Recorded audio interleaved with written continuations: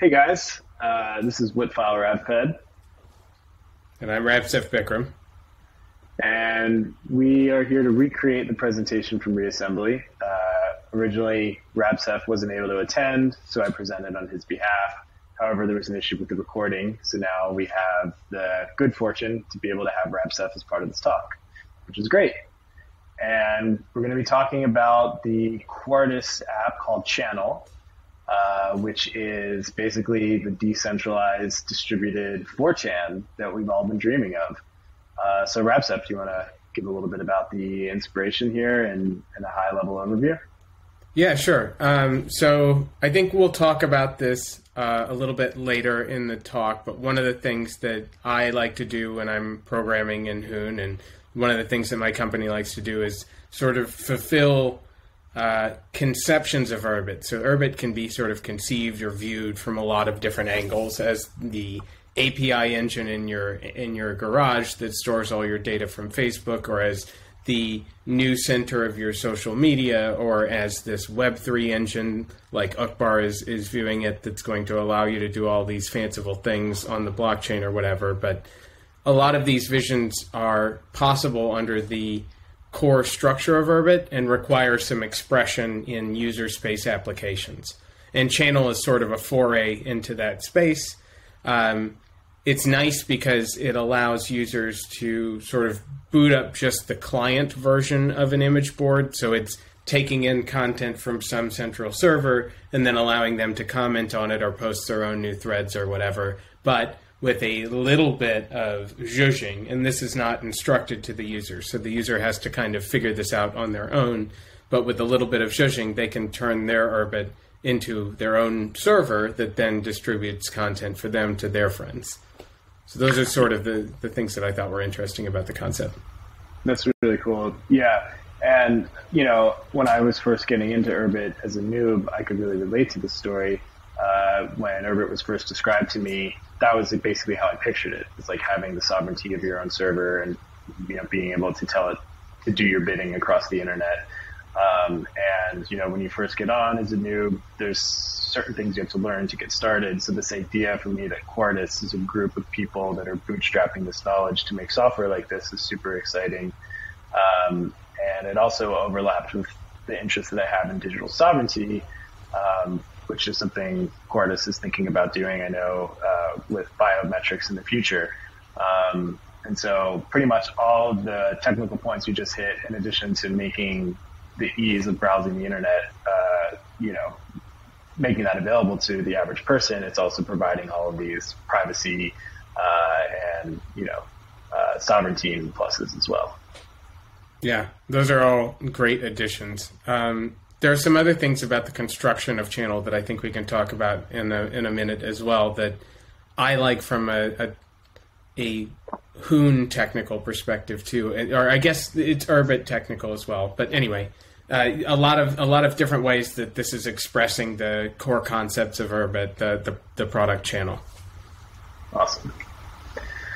Um, cool. Well, so let's get into some of the uh, more specifics of channel. Uh, how does it work? So th- this is uh, what I was alluding to a second ago. I wasn't sure if this was the next thing that we'd talk about or not, but yeah. So one of the other things that's okay. So, so the way that channel works is it piggybacks off of the extant social network software that exists on Urbit. So this is the graph and group and metadata uh, and all of these other different uh, stores that exist for graph information. Um, uh, an image board is really just a graph like any other um, graph that you would see in social media. It's pr- primarily a central node, which is the server, and then a bunch of uh, possible branches into uh, threads of, of content, right? And those might be structured however they may be.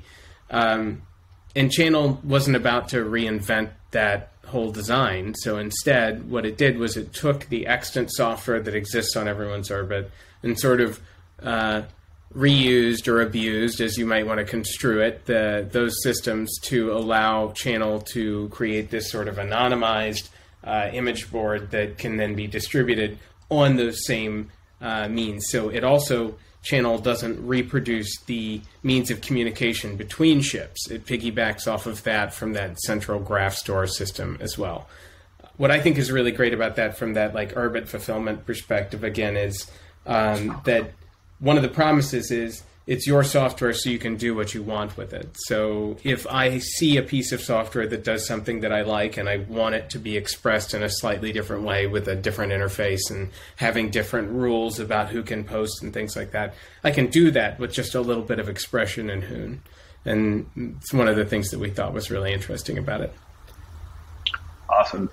Yeah, and the other point there is um, you were talking about how by showing this way of recombining a lot of the tools that Urbit gives you out of the box, you're also inspiring other devs to think about ways that they can combine things and show them that bootstrapping Hoon may not be as tall of an order as one might think. Yeah, that that's a great point, and we're working on at Quartus more technology in that direction. Um, we, I, I'm I'm not sure when the viewer will be viewing this, but uh, assembly two or whatever we're calling the second assembly. Uh, we're going to hopefully be doing a presentation there about middleware, which is something that we're working on, uh, a concept that we're working on, and, and, and new expressions of that concept that we're working on. And basically, the idea is currently we have it as wrapper libraries for agents. So these are agent agent transformers, but there are other ways that you might express middleware as well. But it's something like I have this agent that does all of these great things that I like, but I want to. I just want to change how that behaves in, in this or that context. So I want to paywall the ability for people to do this or that with that agent, or I want to uh, back up this or that. And those those concepts are, are similar. It's sort of composing the the data that you have on your ship, and then even composing the composing with the applications that are running on your ship, or something like that. Very cool. Um, so let's talk about this blog post that you guys did uh, from the Quartus philosophical arm. Uh, you guys, yeah. So this uh, QR code here is a link to it uh, if you want to check it out. And um, yeah, I mean the way I describe it is that you know this blog post is just as much about plants as it is software, which I think is great. Um, yeah, so do you want to talk a little bit about how this plant metaphor is achieving some of the things you were alluding to, alluding to on the previous slide? Yeah, and I should also mention that the there are four authors to the blog post, uh, three of whom are from Reciprocal Limited, which is the other company that Quartus worked with to produce Channel. Um, but the the article is basically sometimes uh, software is kind of an expression of a lot of different things, not just the the thing that it is. Um, and the thing that it is in this case is a fairly simple piece of software that gates who can post to a notebook and graph store, right? Like ultimately, that's what we're talking about. But the the thing that it's about is, uh, amongst other things, those concepts that we talked about, like sovereignty and and and uh, code or be coded, which I actually really like that now that you've kind of brought that, um, I don't know what you would call that, that phrase to, to my attention. But th- these sorts of things are expressed uh, in channel as well as a lot of different feelings that came from a lot of different places. Um, and I think it's really interesting. These are explored in the, in the blog post that is, that's linked here. I won't, I won't dare to try to express what the others who wrote in that uh, post uh, attempted to express in, in their sections. But in mine, it's something like channel is a parasitic entity that uh, is is sort of a good parasite or a beautiful parasite. Like um, orchids are sort of, they have this like mycorrhizal uh, relationship where they um, get a lot of their early energy off of uh, um, mycelium that's that's in like the the crap that they're sitting in, like the whatever leaf matter that they're sitting in. Um, and there's no return to the mycelium for that. Like they just kind of leech off of it, but then they produce this really beautiful flower that can be really nicely appreciated. And I felt like Channel was something like that. Like it, GraphStore gets no thanks for uh, just first generally, although um, I'm sure that there are, are good reasons for people's consternation in either direction. But um, it gets no thanks for producing channel in the sense that you know it's not gratified by serving channel in the way that it does, but I think it produces a really beautiful end result. And I think Urbit has an analog in the sense that it it kind of sits in your mind and produces these new thoughts about how the internet might be and how computing might be and you have to do a lot of the work to feed into Urbit right now. It's not out of the box ready, and it's not um, feature complete for all users into perpetuity, right? But but if you engage with it right now, and if you kind of take it in, and if you provide it some of that um, some of that escape velocity that it needs, it can like reach those heights of, of real beauty in, in its in its full expression. Awesome. Um, so yeah, so that's why you guys refer to yourselves as seed bombers then. yeah, yeah, something like that. Um, I think we also, um, yeah, we, we, we really like the idea that channel is is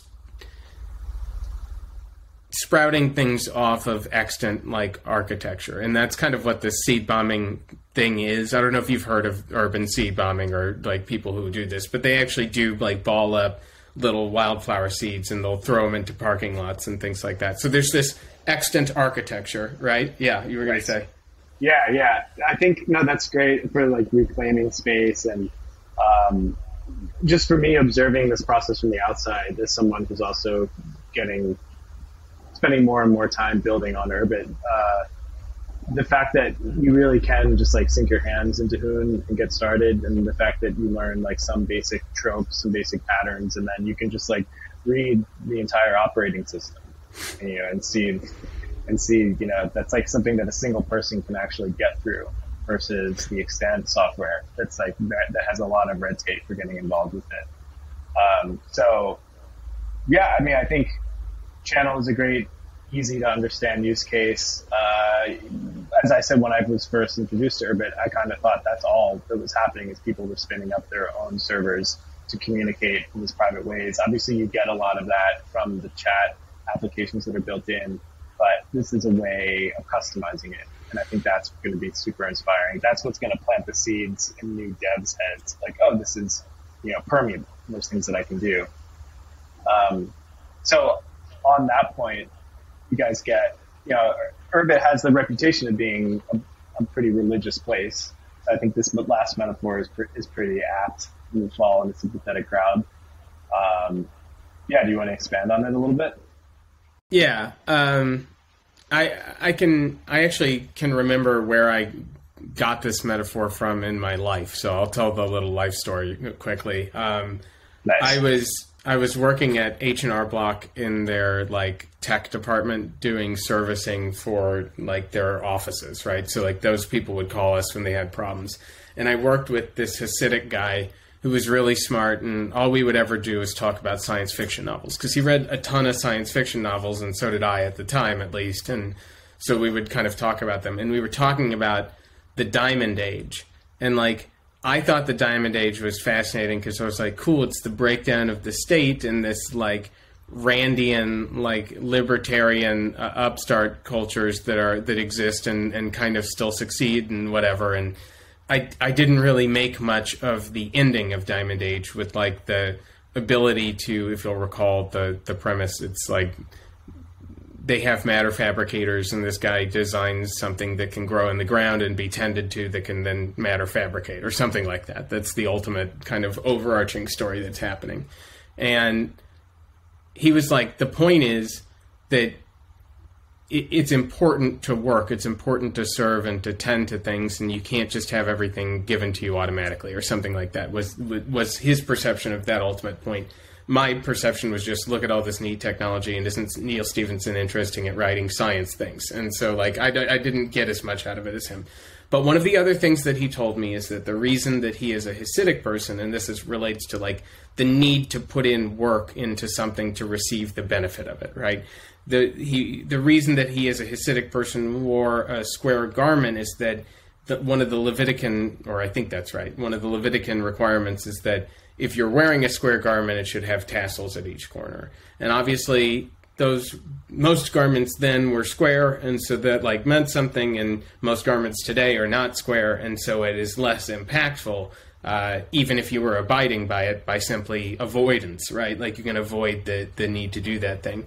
Um, but in order to get the most out of that covenant, the Hasidic believe, the covenant with God, the, the, the, Levitican covenant with God, the Hasidic people believe, or at least this is how it was related to me, that it is important to go through the motions of fulfilling all of those promises, even if it is not necessary for you to go through that, uh, to, to initiate the uh, instantiation of the promise, to wear a square garment, in other words.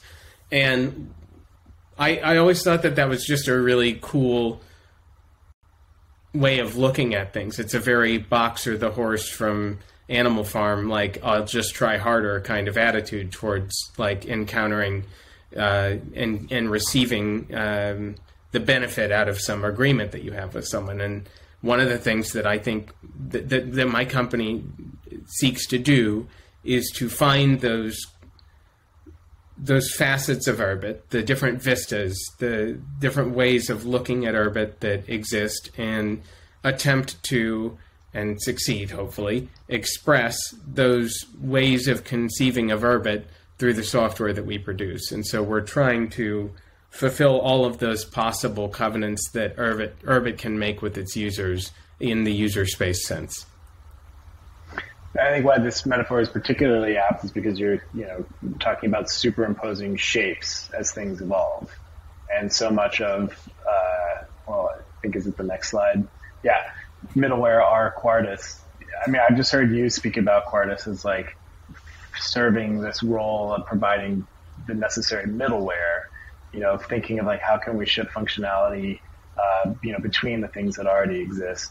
So if you think about creating you know, wearing intentionally wearing a square garment in order to, you know, uphold that covenant. Um, what becomes interesting from a technological stance is like what types of data shapes need to be created.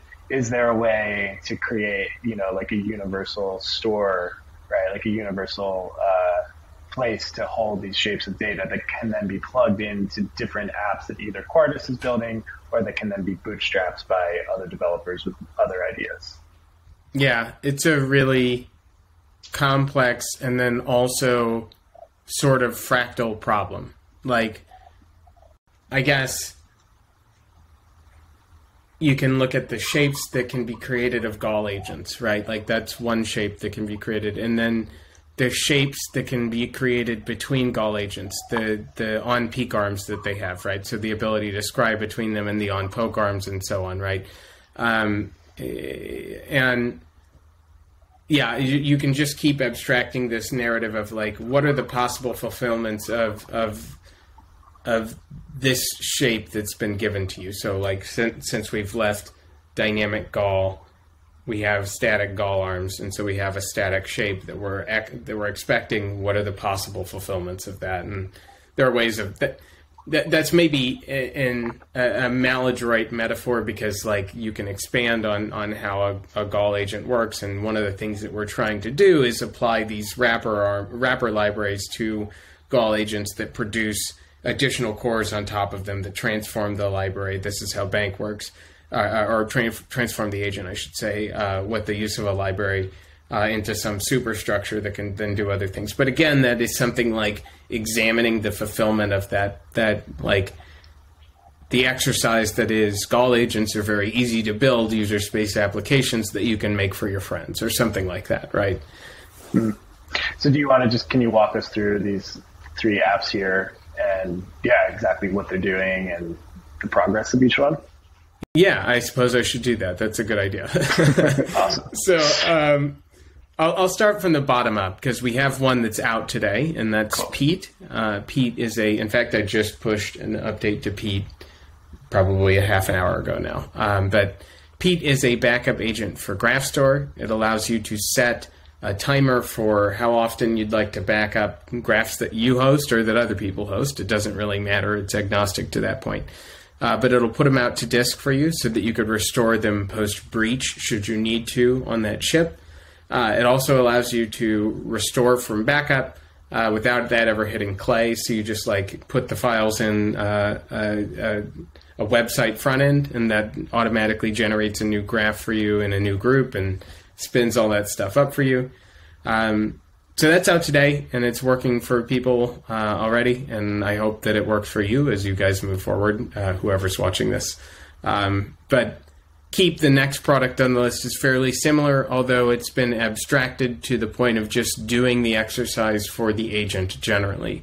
So we built a special one for GraphStore because of the sort of depth and breadth of information that exists in GraphStore today. It's kind of a lot. Um, there are other applications that, like for instance, Gora, another product that we produced that would have a smaller state that you might feel like pretty comfortable with just backing up the whole thing rather than components of it. Um, if you're backing up the whole thing, you can use Keep to do that, and Keep will let you back up your state to your computer locally, to like a jam file, to your local instance of Keep. So if you have like Gora running, you can back up to Keep, and then if you nuke Gora, you could put the state back in or whatever or, and this is the most interesting one, to a remote destination. So this will allow for service providing, right? So you could have your star running keep, and your star could take in information for all of its descendants, right? Um, and then the last product that, that that will be out by assembly this year, so that's uh, 2022, the end of September, basically. Um, Bank as well will be out by the end of September. And what Bank is designed to do, Bank is our first foray into serving agent transformers. Uh, so producing those as software that other people can use. Bank is a fairly complex, no, I should say it's a fairly simple complex that belies a, uh, concept that belies uh, a, a, a, great deal of like flexibility in its execution. So the basic gist of it is you can do two things. You can paywall some action in an agent, right? So you can say, um, I want to check to make sure that anyone who has is trying to interact with this function has sent me at this address one ETH this month or something like that, right? Obviously, probably probably a little steep at those prices, but whatever the price would be. Um, you can also store information about the comings and goings of um, transactional amounts in and out of a variety of addresses that you are watching. So this would be something like the ability to store a custodial wallet. So you could see how much money came in from Witfyl and how much came in from Rabsef, and then if you needed to serve that back in your like exchange that you're running on your Urbit, right? You could go, okay, Witfyl has this much Bitcoin and Rabsef has that much Bitcoin or whatever. Um, but Bank, we're hoping to ship on top of Keep so that we can I, I, I can't say that we're the first here, but we're trying to find a way to get to monetization of service providing on Urbit. And we think that um, a decent shot towards that would be Keep hosted on a star that uh, can take incoming subscribers and store their state for them for breach um, revision, right? And so, like, the idea would be you, probably something like you pay a one-time startup fee uh, to start backing up your state, and then a one-time recovery fee to recover your state, that kind of thing. Um, anyway, so th- th- those are those products. Bank will be out alongside Keep, and one of the great things about Bank is that we've intended it to be uh, reapplied to your agents, you, the developer out there watching this. Um, as you get the library, you should be able to kind of build it in and start handling some of those cases. And we're also just an aside here. This is because this is something that's pressing in my mind. Um, we're thinking about ways. So, like, imagine that you have bank paywalling some poke, right? Uh, on on your application, and it's related to some foreign application. So, like, uh, I'm a service provider, and I shipped a version of of Keep that's like pre-configured to point to my server and has bank installed on it so that you're going to know when you're out of money and you're going to be able to pay us and everything. Well, how do you get the interfacing working if Keep wasn't built with that in mind? We have some ideas for this, and I think, you know what, I, I won't spoil the idea, but we're thinking about ways to make it so that our agent transformers can also like slipstream in information uh, in front of the display that the user is used to using when interacting with the agent. So like you'll have your normal agent that you're just you know working on, right? And then like bank should be able to produce modal pop-ups in front of that agent to go, hey, wait a minute, you need to top up on your payment to this person before you try and do this action because you don't have enough money. So those are the directions that we're going with that. That's something that I think is like a really interesting um, confounding of the idea of bank that has led to some interesting thoughts about how to like creatively solve that. Very cool. Um, looking ahead for your future plans or plans, uh, these, as you described them to me, these seem to be more. Uh, what's the right word? More like self-contained. For and full stop is a period tracker you guys are working on, right? Um, yeah. And yeah, so maybe if the previous, if the core of Quartus is like this middleware philosophy, it seems like what's on the roadmap down the road will be what happens once a lot of this functionality is out there and how can we make something that's more standalone? Is that a right well, way of putting I'll, it? I'll tell you, I think I think the core is still there in these standalone things. Well, let me let me back up one step. So Full Stop is a standalone application and, and will be for the foreseeable future. But I can conceive of a world where Full Stop actually integrates with something that is more like the second concept displayed on screen mm. here.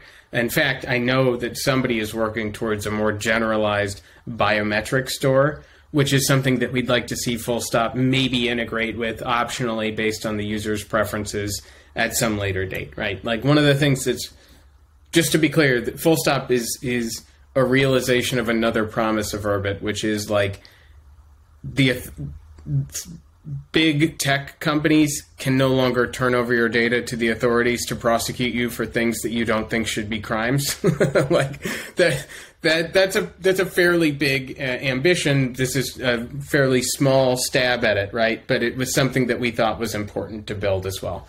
Um, but it also it can be an expression of this of the second concept that we have on the screen, and this is something that's kind of been in the back of my mind for a while, and that I've been talking about with the boys at Quartus for a while, and that is Full Stop. Also, incidentally, being built with Reciprocal Limited. We work with them oftentimes, but uh, not always. So, just thought I'd call it out. Uh, the second concept, though, is something like when I build an agent and I ship it, it has a shape for its state, and I can express in the scries as much or as little of that state as I want, right? And and in that way, I can make the internals of my agent as available or unavailable or, or as obfuscated or inobfuscated as I want them to be, right? And that presents, I think, a problem for one of the promises of Urbit, which is do whatever you want with your data, right? Like if I want to sort of hack on the data that's coming into my note taking agent, knowing like uh, is it is it it's is it fumes? That's not what how it's pronounced. Is it is it funes? Is that what it is? I'm not sure. Yeah, I've only seen it written. All right. Well, we, we know what we're talking about, and you do too if you're watching this. But yeah. uh, if I if I wanted to hack on the data coming out of that, but maybe there hadn't been a scry, there, there isn't a scry built in to ask for it in the way that I want. Right? This can be problematic in terms of the expression of that promise. And so one of the things that we've been thinking about is ways of resolving that, including something like an agent or yeah, well, something like an agent that is some way of expressing state that does not require the original coder to uh, reveal the the state through a sufficiently robust series of scries. So there should be some way of taking the shape out at will and manipulating it, even if not to put it back in, but merely to use it externally, right? And and, and do some other d- data manipulation with it and this is the the thing of store store and like we say like you say here i should say uh, it it's something like what could a, what would a generalized biometric store look like such that you could write any n number of agents against it to to store m types of data about the human body right and what would a what would a generalized food tracker look like such that you could start with one that's about you know keto and move to one that's more promotive of um, what do they call it? The holistic eating diet, where it's like eat whatever you feel. I don't I don't know. Have you ever heard of that one? It's insane. I, but I haven't, but I think that's what I do. So yeah, yeah, same. Yeah, but I also know that's not a good diet. practice. Right, right. Um, but yeah, you can imagine all these different ways where you could have the state over here as this shape, and different agents could be able to access it and sort of pick up where the last one left off. If you don't like full stop and you want to keep your biometric data from that as you transition to some other like you know the archdiocese period tracker that definitely you know makes sure that you're using the rhythm method or whatever that's fine and you should be able to do that and it shouldn't rely on me writing adequate scries in full stop Yeah, that seems. I mean, that's one of the original promises of Urbit. It's like if you, if DigitalOcean shuts down your hosting service, you have everything. You can just pick it up and move it somewhere else.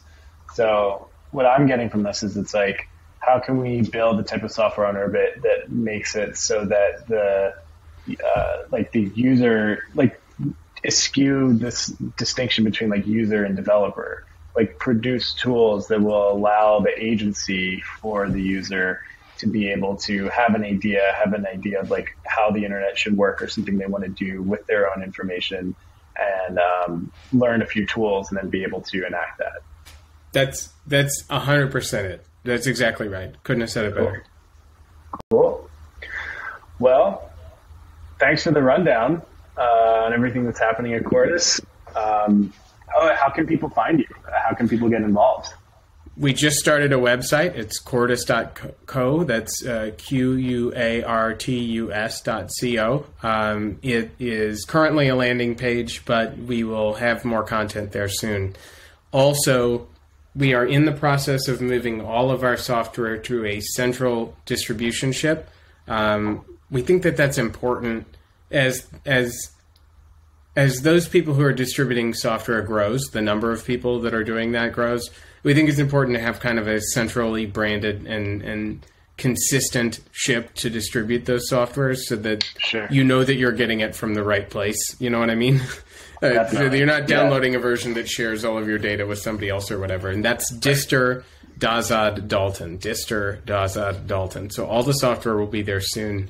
Uh, you can keep an eye out there for upcoming new uh, applications. Awesome. Sounds great. Yeah. Uh, cool. Well, I mean, it was unfortunate that the original presentation was lost, but it's great that we got to do it again and have you speak, you know, as the creator of this stuff. And um, anybody with questions should check out Quartus.co, right? Yeah, and we're really thankful that you were there to present for us the first time, and, and you know I'm I'm very thankful that you were kind enough to have me this time to talk through it with you. Absolutely. So thank you. Yeah. All right, guys. See you later.